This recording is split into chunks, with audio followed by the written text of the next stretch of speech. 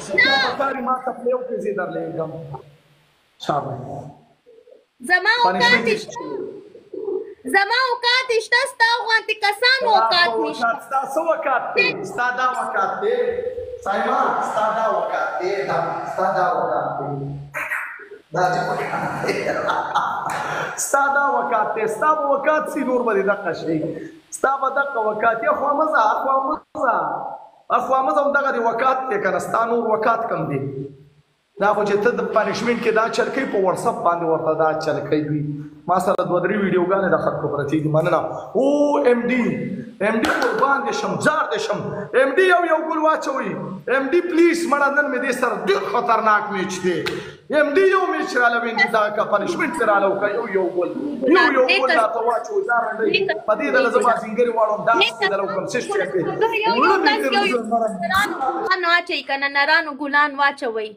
نرانو ګلان واچوي مرګرو یو یو ګل پکار دی یو یو ګل پکار دی ډبل اوپن کې آصف مننه قربان دي شم دوا کسان نور دوا کسان نور زر زر ګلان نړه کې نرانو زر زر ګلان نړه کې قربان ډیره بکواس کې عبد الله مننه افغان مننه جار دي شم قربان دي شم مننه په یو جهان مرګرو ډبل کې پلیو